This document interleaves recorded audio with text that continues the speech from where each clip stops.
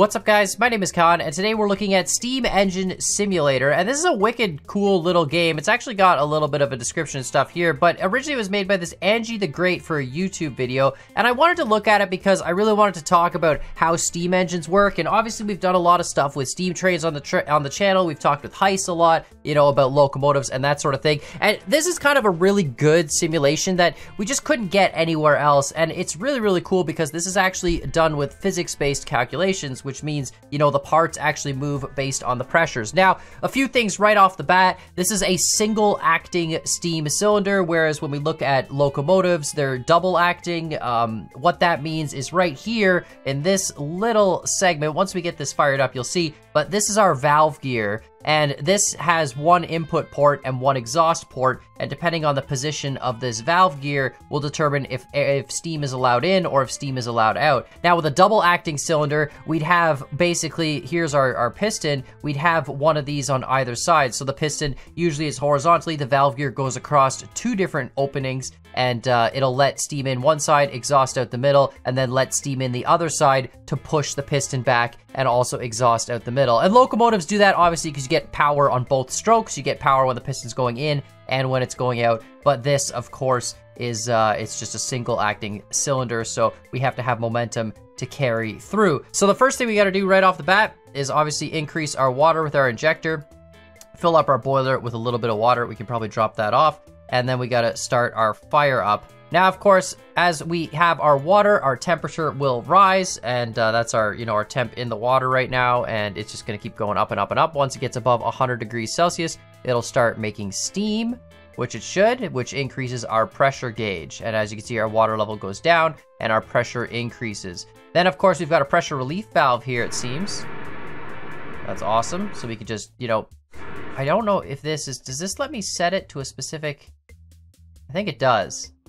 See, I think I'm adjusting what pressure the relief is. Yeah, yeah, no, I definitely am. Water at 100 PSI, this is kind of interesting.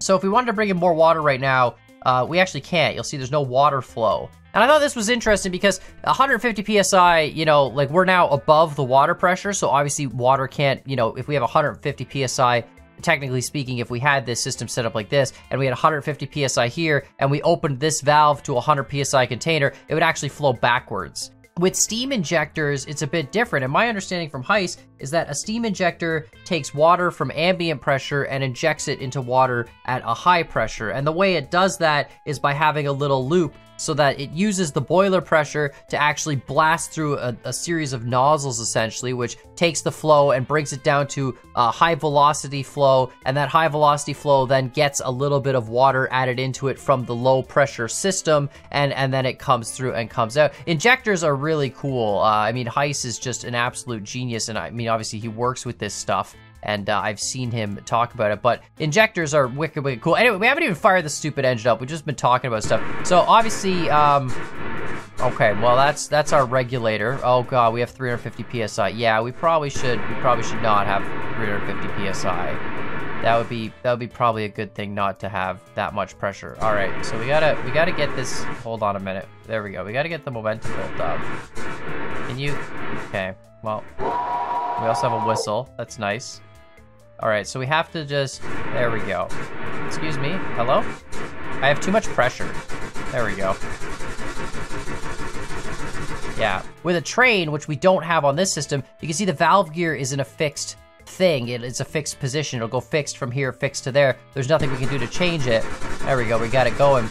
And uh, but on a train, this is where the uh, the regulator versus the Johnson bar comes in. So if we look at a Johnson bar on a train, a Johnson bar would actually control how much movement this is by adjusting these pivot points, which I think is just it's super cool. I got to try building a Johnson bar at some point in time. They're very very hard to get the dimensions right, and it's just it's a really really cool system. But when you get the dimensions right, if you move it forward, the pivot point changes so that this valve gear actually would like flip and go in the opposite direction, which would reverse your stroke, and vice versa. It's all done on the valve gear side of things, and then you have the regulator, and this would be basically our steam chest if this was a steam train. As we release pressure from the regulator, you can see we've barely got any pressure being released. We really don't need much at all. Um, we are going to need water, but we're at 350 psi, so it's just never, it's never going to happen. See, like I can open this up fully. We're going to just basically just starve this thing of water. and then we're gonna bleed all the pressure out. We should bleed this down to like 100 psi. There we go. And then at 100 psi, now water comes back in. And then as soon as we inject water, look at the pressure drop immediately because the temperature just goes shooting way, way down. Let's see if we can get this to a steady state. That's what I'd really like to do. So a steady state here would be just below 100 psi. We're releasing enough steam and we're making steam at the same rate we're releasing it. And then the engine should be able to sit at some regular RPM. Okay, so we're not injecting enough water. Pressure, yeah, no, see, our pressure's already up too high. I Gotta release that. No, get that, get that down. There we go. Gotta inject water, gotta release more steam, which would essentially give us more power anyway. All right, get that below 100. Very, very slowly coming down. Perfect. Now we're bringing in fresh water and our temp is holding constant. So basically we need this gauge to stop moving now. I need more water. That's gonna bring my temp way down. It's too much. Gotta be very careful on the ejector. This is like the magical balance of steam engines. But it's interesting this is a single acting engine. And then of course uh, we can use the brake and apply a little bit of load. So this is as if we were like, you know, pulling something a bit heavier. It'll still grind through the brake. That's awesome. And now you can see the chuffs coming backwards through the pressure gauge. That's so great. As it opens up, basically, it releases all the steam out. This valve gear is wicked cool. I kind of wish this simulator had a, uh, you know, a Johnson bar on it so we could actually play with the position of the valve gear. Because that's a lot of this is, you know, with how steam trains drive. And a lot of people commented when I tried driving a steam locomotive in Derail Valley that I really had no idea what I was doing. But that's essentially what you're, uh, what you're trying to do is uh, you basically have to play with how much steam you're allowing through the piston to release out versus how much steam you're generating in the boiler. And if you can balance those two numbers and you can generate just as much steam as you consume, then you have a, a wonderful steady state system and you don't end up blowing your pressure release every 10 seconds. And that's like, whenever I talk to Heist about it, that's what he always says, like, you know, you never want to blow your pressure release valve. And, and obviously when we play Railroads Online, we did that all the time. You just kind of let the boiler max pressure itself out and whatever whatever. But in real life, pressure releases are super, super loud. And, uh, you know, as, as Heist says, they very rarely have to do it because they know how to work the fire and manage the steam and manage the temperature so that they're always releasing the same amount that they're producing. And that's insane to me. Like, the amount of effort that would take on, on that level, it's a wicked system but there's so many variables. You have your cold water, you have your temp. My temp is super high right now because I have no water.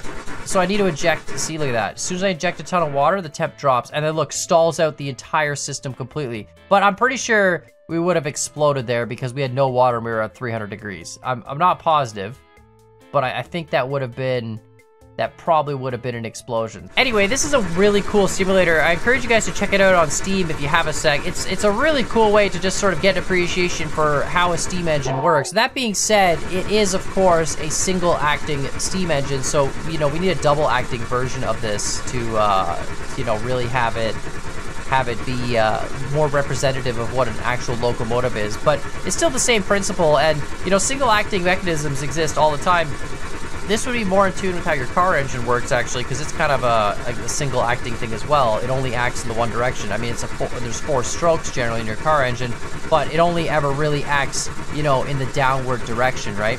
Uh, but yeah, the last thing I wanted to look at is uh, apparently if we just smash the A button, yeah, now we get into into hell mode. I don't I don't know what this means.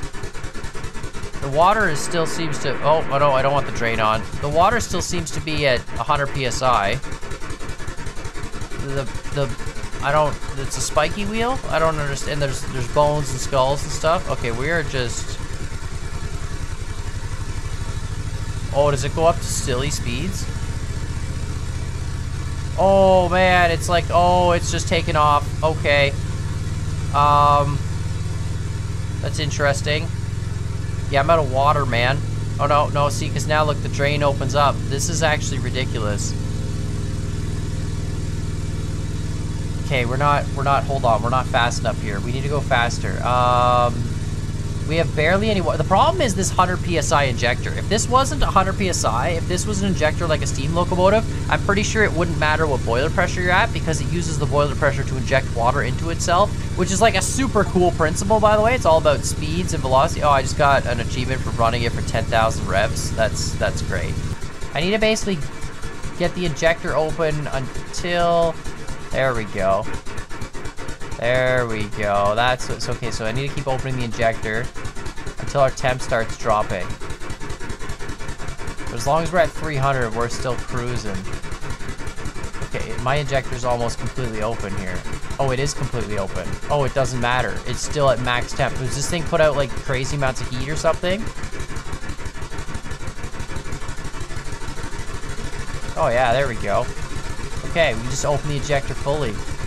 Oh my god, this is ridiculous. And then we just open the reg, but like keeping it right under 100 psi. Oh, there, see that? Destroyed it, destroyed it. Hit that state where it's like we just, just released too much steam, the pressure dropped. Wait, what happened there? Hold on, we released too much steam. So the pressure dropped, and when the pressure dropped, the water came flowing in way too fast. Right? Yeah, that's what happened. And then when the water flows in too fast, it destroys the system. Because the ratio of, oh, the water at 100 psi, like, it's, it's being held back as long as we're close to 100 psi. So if I do this... Nope, nope, no, no, we're still too much water. We need higher temp. That's right, we need the temp to vaporize it a lot faster. Okay. We're gonna get this. I understand. I'm kind of getting how this is gonna work now in terms of balance. If we have our temp at 300, the water's gonna vaporize almost instantly and pour into a lot of steam. But if our steam pressure gets too low, then the water can flow in a lot faster because the water's gonna flow at a ratio of how much PSI we have here versus how much pressure we have here. So if we're at 100 over 100, it should flow at zero. If we're at like 99 over 100, it should very, very slowly flow in, right? Based on the area of this and the pressure difference between the two how the fluids would work on that. So there, we're maxed at 300 again. Nope, it's too much water. We gotta slowly, nope. Oh. Oh, I generated a bunch of vacuum in the boiler. Oh my god. Oh, because this is still spinning with momentum and it's using the piston as a pump. I feel like hell mode just unlocks all the stuff. Like, I feel like there's limits on the regular mode and in hell mode it just doesn't care. Alright, hold on. Good thing is I don't think we can blow this up. We generated vacuum pressure in the boiler. I'm pretty sure if this was real life, that boiler would have been would have been splody splody pretty quick. I love how it's gotten so fast now, it doesn't even look like it's moving anymore. That's great. It can't even, like, we're, we're into that whole, the frames can't, it looks like it's glitching out, but it's not. It's just so freaking fast, you can't even tell what's going, oh, now, like, now it looks like it's spinning backwards. Yeah, yeah, we hit that point where now it's the, the render rate, uh, what, the frame rate is the same as the, you know, like we're actually going backwards. We're gonna, at some point in time, I'm gonna accidentally bring the pressure too low, and then we're just gonna overflow the boiler because the water is just gonna come flowing in and kill the temp. The key is to not do that. All right, 4,000.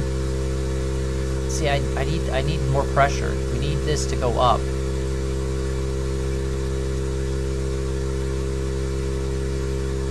I'm gonna reduce the flow a little bit. Yeah, see, now we don't have enough steam. And I killed it. God dang it. Hold on, hold on, hold on. We can build this back up real quick. Just drop that. Bring this back. Oh my god. Oh, I just created a massive vacuum pressure. Hold on. Don't have enough water in this system crank this up. Oh my god, it's so easy to lose steady state. And we just lost a bunch of speed. Oh man. Alright. Exhaust. No, no, no, no. I need I need you to build up the temp before we run out of steam.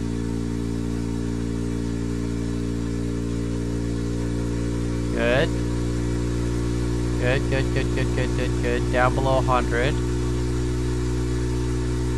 Okay, now the water should start flowing. Just a little bit of water.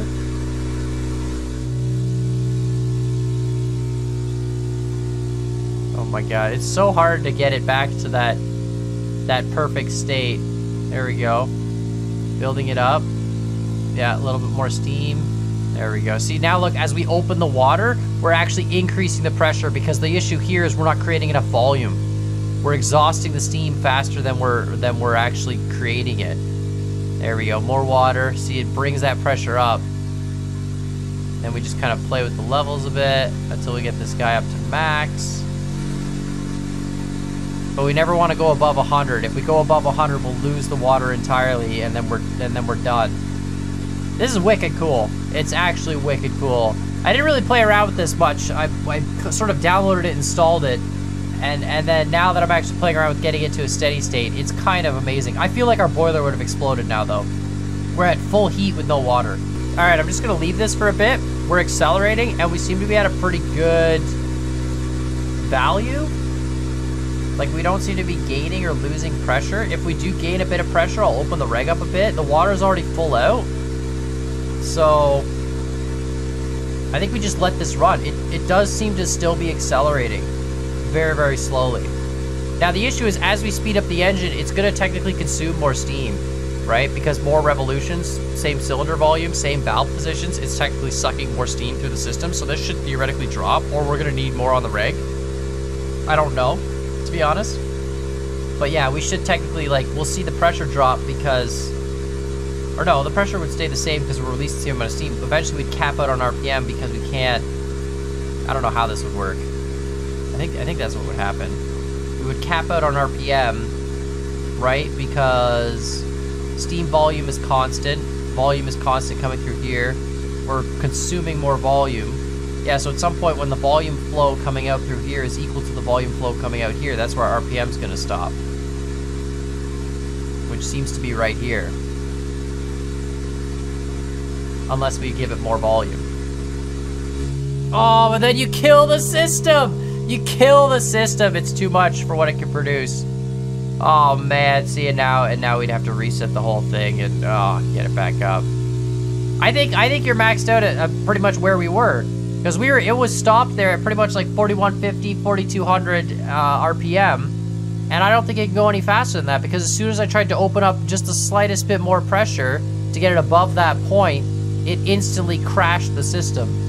Because all of a sudden the volume flow of steam we were consuming through the piston was higher than the volume flow we were creating and, and it just it just sucked the whole the whole boiler dry. But uh, yeah, let me know what you guys think in the comments down below. It's a really cool simulator. I mean, you know, it's just a cool way to really appreciate how steam engines work. And I don't think railroads ever brought their steam engines up to 3200 RPM. But again, they also had double acting pistons, which means they would have just been geared much more for torque and of course, we would have had that bar to uh, to control this point right here. But yeah, let me know what you guys think in the comments down below. Make sure, of course, you hit that like button, hit the subscribe button. And, uh, you know, I'm going to let this run, but I don't think we're going to get above 4,200.